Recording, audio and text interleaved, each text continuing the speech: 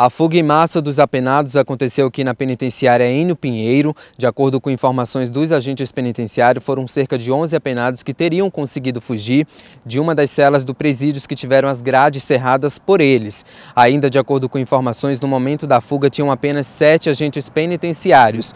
Ainda segundo informações deles, o presídio ainda continua com intervenção militar, mas durante o período da noite, os policiais militares não trabalham. Nesse exato momento, eles estão fazendo a conferência dos apenados.